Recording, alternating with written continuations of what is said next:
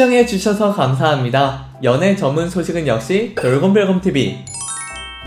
안녕하세요. 돌곰별곰TV입니다. 이번 시간은 박군 씨에 대한 소식을 전해드리겠습니다. 첫 번째 소식입니다. 박군 씨가 김병만 표 깜짝 생일 선물에 눈물을 훔쳤습니다. 앞서 저작권 관련 해당 방송에 대한 사진을 사용하지 못한다는 점 양해 부탁드립니다. 지난 1일 방송된 SBS 정글의 법칙 봄에서는 병만족의 제주도 생존기가 방송을 탔는데요. 이날 박태환 씨는 김혜원 씨와 함께 바닷속 먹거리를 찾기 위해 물질에 나섰습니다. 하지만 김혜원 씨가 슈트 부력으로 인해 잠수를 하지 못하는 상황이 벌어졌는데요. 박태환 씨는 국가대표 수영 선수 출신답게 여전한 폐활량을 드러내며 소라를 수확해 왔습니다. 이에 박태환 씨가 수확한 소라를 박훈 씨가 건네받아 삶았는데요. 멤버들은 소라와 다양한 음식들을 먹으며 행복을 표했습니다. 이후 박훈 씨와 김병만 씨는 해먹 특공대를 결성해 전날 바닥에서 자느라 고생한 멤버들을 위해 통나무 지지대를 활용해 해먹을 만들었습니다. 멤버들은 해먹의 안락함에 만족하며 잠을 청했는데요. 다음날 김병만 씨는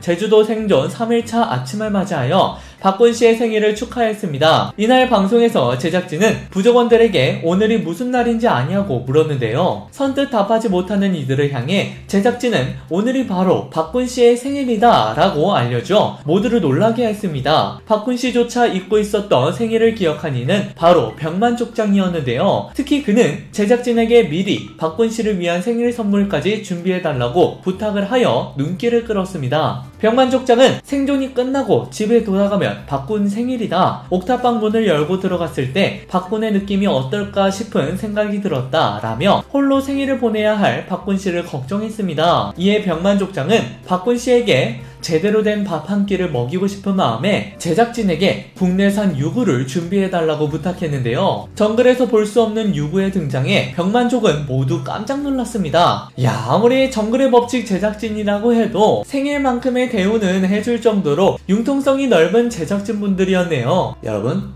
구독과 좋아요 잊지 마세요.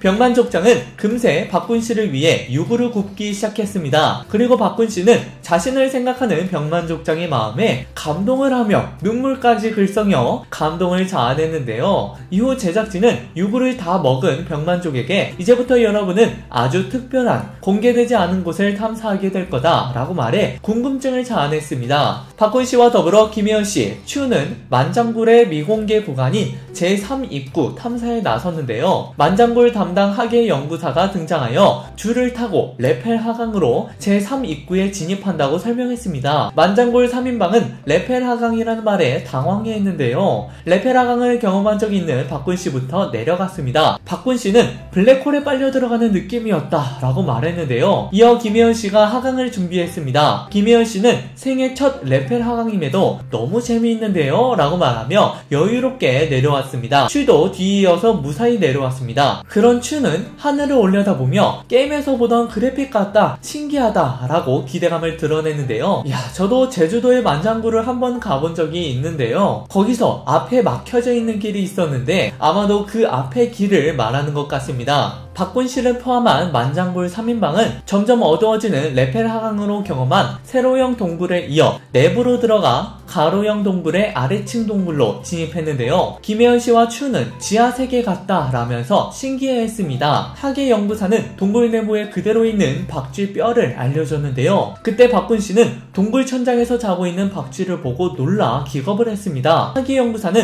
자연 그대로 보존되어 있는 용암유선, 용암선반에 대해 설명했습니다. 이에 박군 씨는 이번 생존에서 가장 기억에 남는 순간이었다고 소감을 얘기했습니다. 야 정말 새롭고 뜻깊은 경험 경험이었을 것 같습니다. 화제가 되었던 트로트 가수 박군 씨에 대한 소식을 전해드렸습니다. 여러분께서 응원해주시는 박군 씨의 소식은 앞으로도 계속 이어질 예정입니다. 여러분들의 좋아요와 구독은 큰 힘이 됩니다. 열심히 노력하겠습니다. 지금까지 돌곰별곰TV였습니다. 감사합니다.